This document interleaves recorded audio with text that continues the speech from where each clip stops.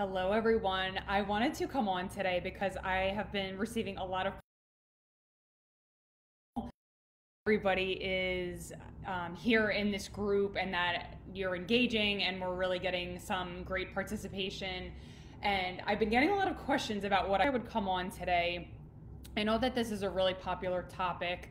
I just want to make sure that everybody can hear me. I am on my headphones here. So if you could just let me know in the comments, I would love to know who's here with me. This was kind of just an impromptu thing that I decided to do, but it's also going to help me to practice for my ASCP talk next week. So I figured that um, just making sure whoever is watching, if you could just and then I will get started. So just give me you are here with me. So hopefully you can hear me and I'm just going to go ahead with it. So for those of you who are new to this group, I want to just introduce who I am and, and what I do. So hi friend, yes. Can you hear me, Catherine? Hopefully that's a yes. Great. So for those of you who are new to this group or who aren't familiar with me and what I do, and you're like, who is this crazy girl who's just posting all of this, um, just kind of out of the box different types of things that you might not have seen or heard about before, but that is really what I love. I love to challenge the status quo. Yes, okay, you can hear me. Good. I love to challenge the status quo. I love to really explore things that are out of the box. So that is what you are going to get in this group. I am not afraid to kind of push the envelope and to just kind of speak freely about what it is that I believe in. And you can stay or you can go, and either way, that's fine. But I want to really start to open up a little bit more about some of the work that I do, which is evolving, you know, constantly. And I work a lot with quantum physics and neuroscience and all of that geeky stuff to help women to transform. That's really what I do. So I'm going to go through a little bit about that today. But for those of you who don't know me, my name is Dr. Christina Fontana, and I help visionary women, mainly pharmacists, to transform and the lower octave emotions that are holding you back and anchoring you so that you can be liberated into creating creating a compelling future where you are accelerating the path to your big vision. Now I know that a lot of you in this group are looking to start a business or maybe write a book, whatever that vision is, it doesn't matter for these purposes. It does matter, you know, of course, but it's all the end product, right? So we all have want to reach. We have a vision that we want to get way. So self-sabotage is a big topic that I talk about a lot.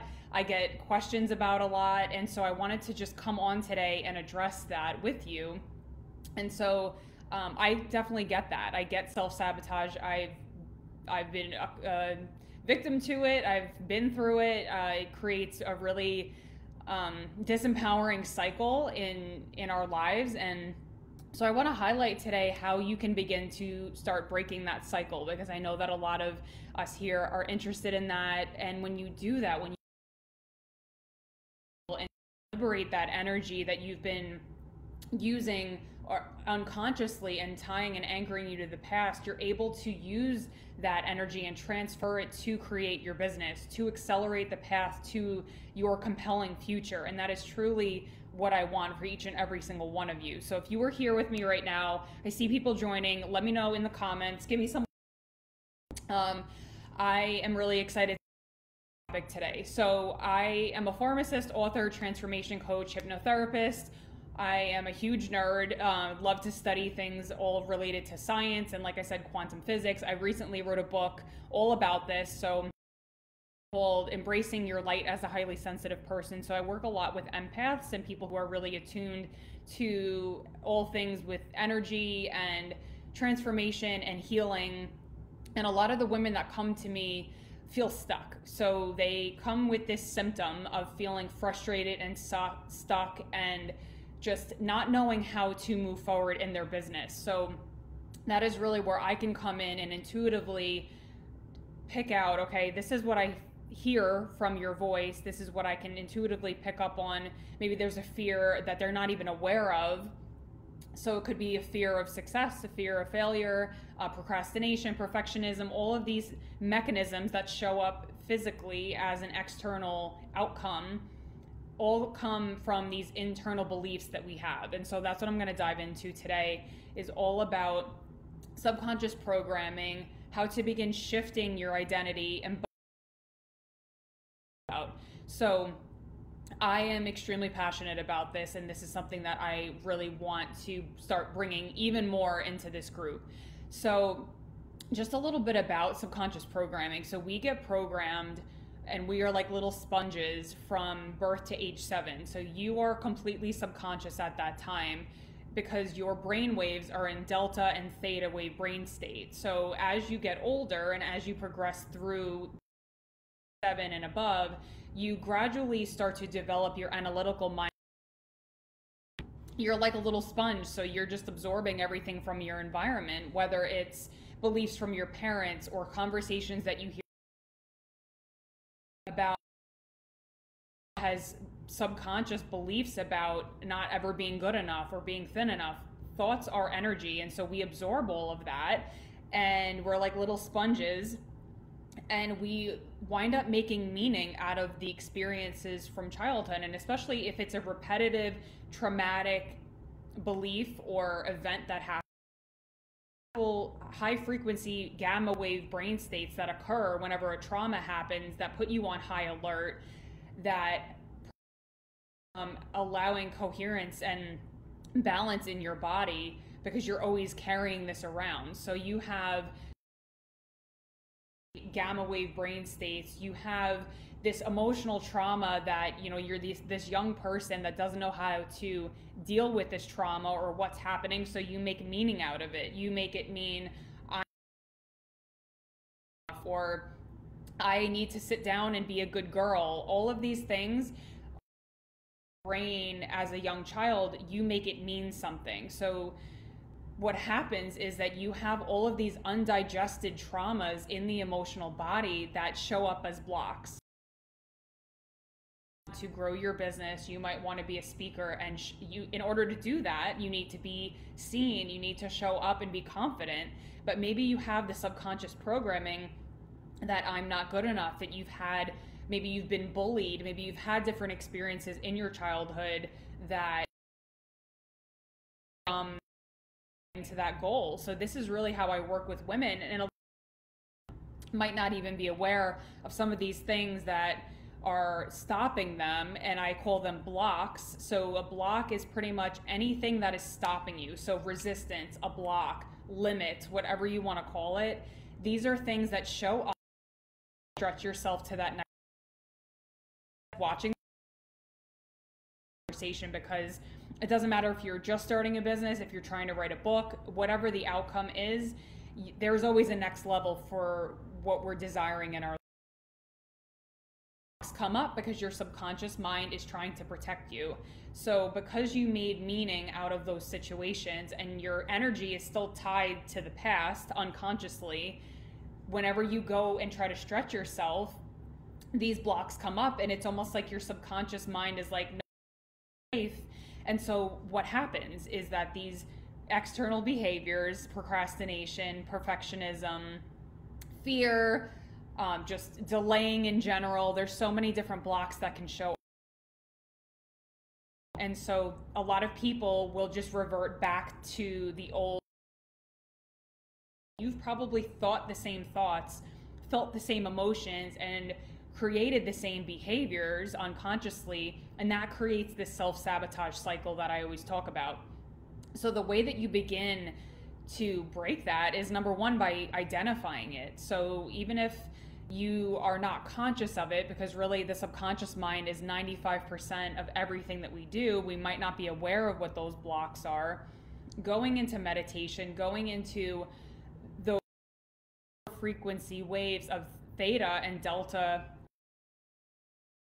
you're able to go into the operating system of think of a computer you're able to hack that system and you're able to reprogram a lot of those beliefs that are holding you back. And you might be able to tune into okay yeah i remember that memory of not being able to speak my truth or not wanting to upset someone in my external environment. And we hyper focus on our external environment traumas and these things that we don't want to experience that trauma again. So what happens is that you wind up creating these defense mechanisms. So if you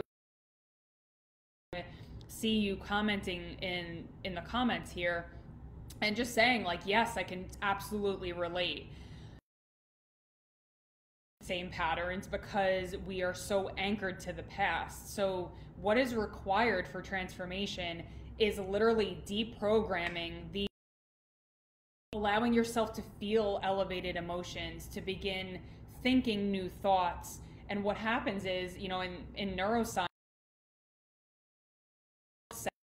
it's a fusion like a belief gets fused onto this receptor site and it's like hardwired. That's why they call it hard you're hardwired because you're literally um, you've repeated and you've thought these same thoughts i'm not good enough i'm not good enough it's literally like glued to this neuron so the way that you have to begin an anchor it's literally thoughts is by thinking new thoughts that are true to your highest self, to the, the version of you that already has. I dive into, I know that a lot of you here are probably development and, and you've read probably dozens of different books and watched videos, but I like to get into of it because this is not this is actual when you begin thinking new thoughts it a new thought to this neuron and as you keep repeating and mentally rehearsing this, that old thought just starts to literally be un- unglued.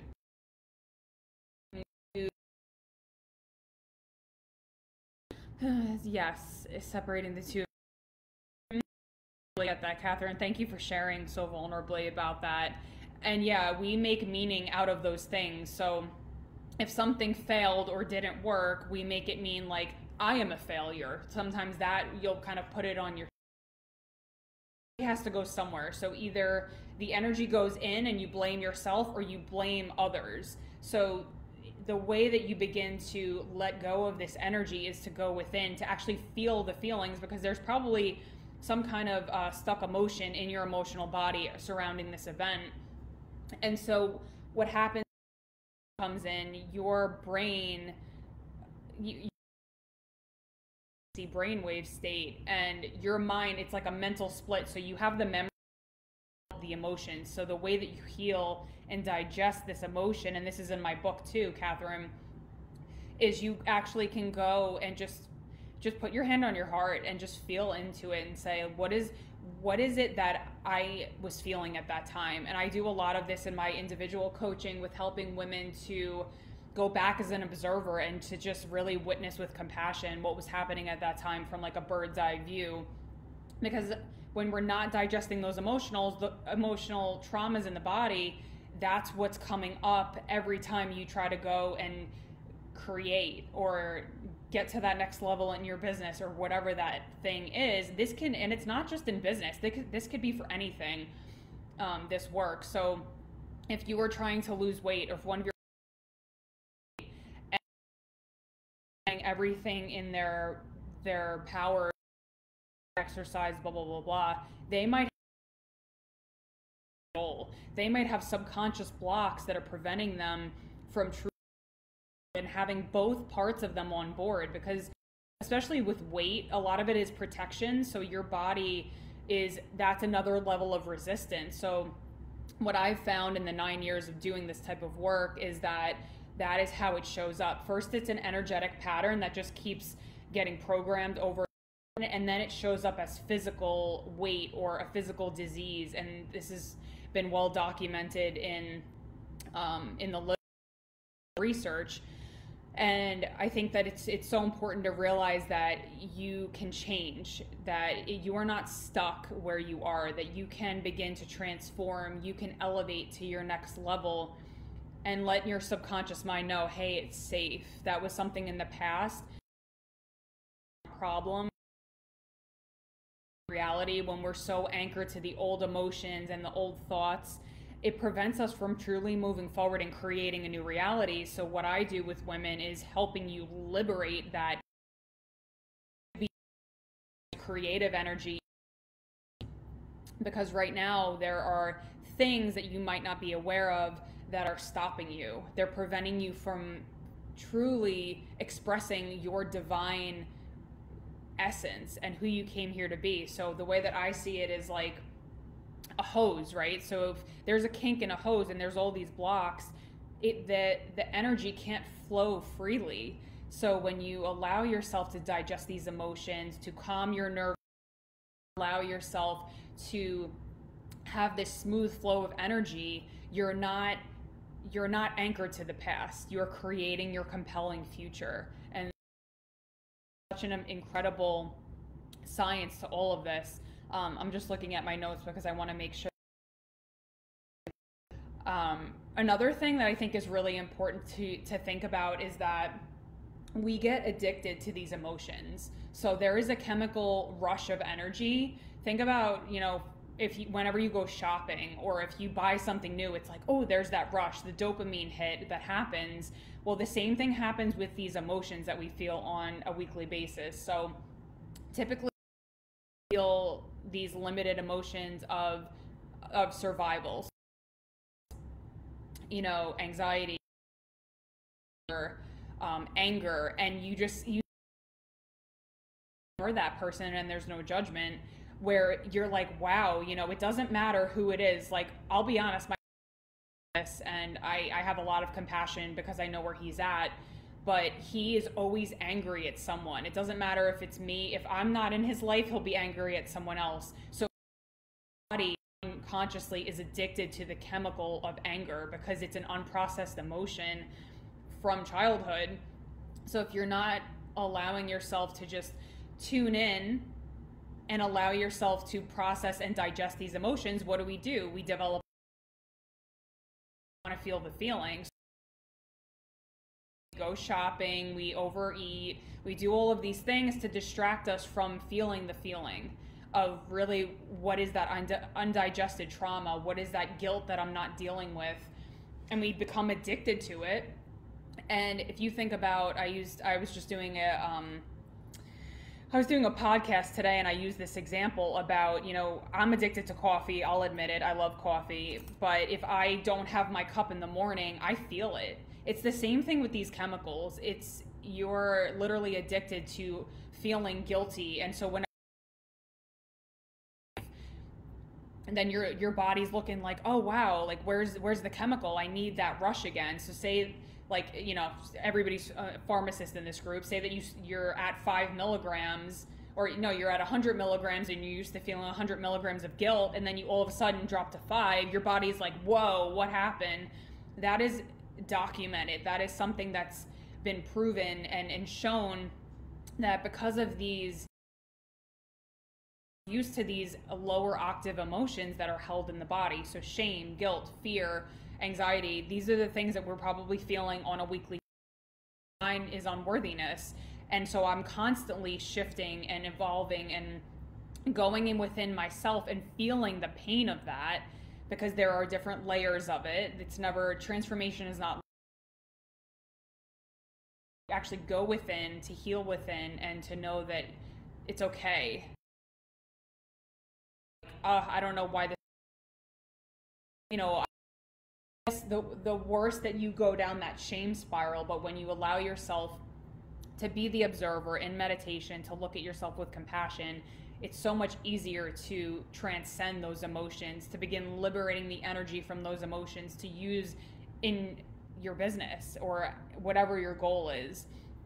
So I think that's really important to to remember. Um, and the other thing too is to think about, hey, I'm unanchoring myself from this from this old way of being, these old thoughts, these old emotions, these old behaviors how do I begin visualizing how would that person be in the future? How would that higher act?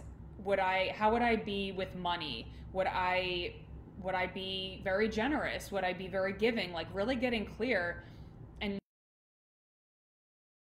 as that future because the old way of thinking oh, my money has to come and then I'll be happy. So cause and effect. When in reality, it's the opposite. So you have to generate the feelings of abundance and wealth in order to be that future self that is already in.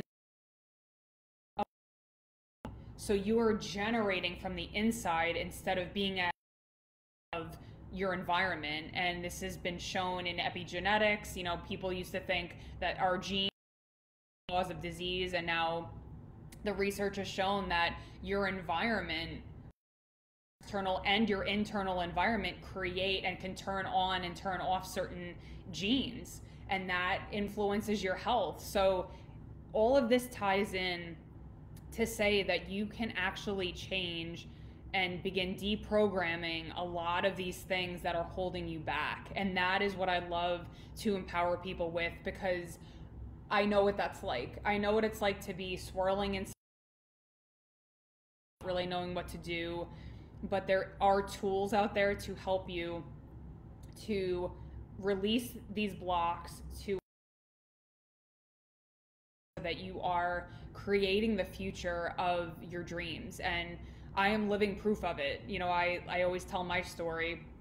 I was on a totally different frequency years ago and, um, you know, was a child mental abuse. I was a victim. I got bullied. I got thrown out of my house. I had eating disorders, anxiety, you name it. So I went from that state, used these tools, and, you know, it wasn't overnight, but it was, they were gradual changes that helped me digest and release a lot of that old stuck energy that was in my subconscious, uh, my emotional body, so that I could build what I have now.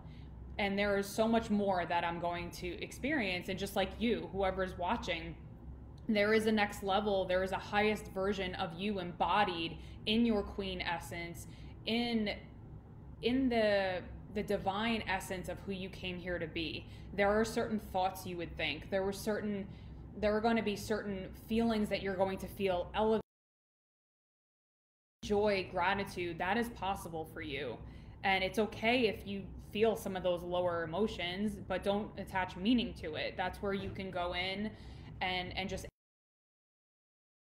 peel back the layers of this resistance or these blocks. And i've had this question um, posed to me before. If you know what the block is if you can kind of go into meditation uh, usually takes me about like 10 15 minutes to get into that like really relaxed state. You know, I'm not associating internal and you know, more internal and, and reflecting inward. You can well that desire dropped in right now would i be ready for it and then you'll start to see maybe there's some fear around that or some judgment or like it was too easy or whatever your brain is making it mean and those are the blocks that are going to and the resistance that's going to start being revealed to you as you spend time with yourself as you close off that physical environment and you be you be with yourself and most people work because it's easier to go back to the old self to be quite honest. So it is a process. And the more that you know information, the more that you can just stop yourself whenever you're wanting to go back to the old behavior and you can consciously choose body, how you speak, how you emote, the things that you do, your habits, all of those things correspond to a certain frequency of how you're showing up because you as a human being, we, you know, the quantum model of change shows that we a magnetic field. So your thoughts are the electron, your your emotions and your feelings are the magnet, and you are constantly magnetizing and drawing experiences into your life. So if you don't right now and what's showing up, okay, it's showing you contrast. Okay, it's showing you there's some block or some resistance that is preventing you from receiving that thing, whatever that is. And sometimes it shows up like I've done this before where I um, goal that I wanted for my business and I just like kind of put it out there. I, I do my process planting intention something showed up and it was a coach. It was somebody that could help me get sometimes you need to be lens and seeing the available options that are there for you if you're resonating with particular or if you're like wow I'm, i don't know why i can't really explain but that person i'm really drawn to them. It's it's a it's not that you just kind of put intentions it in, in your creation. So thinking about all of these different components, I know that I just kind of hit you guys with a lot of just deep information here, but I help my clients and it's incredible to see, you know, how this how this works. You know, people quit their jobs, people are feeling more connected to their spouse. I mean, there are unlimited potentials, unlimited possibilities that happen when you do this work, when you're willing and you're committed to your transformation, to not being tied to your past and replaying those same things over and over. Choose to show up, be your highest self, and it all starts with your decision and your willingness. So, thank you so much for listening. I um, this for um, for my talk too next week. I hope that if anybody's watching, if you have any questions, feel free to reach out to me. And I hope that anybody who can make it will make it. I think it's what is it, 318? I think it's Thursday. So definitely check that out, and I will talk to you guys.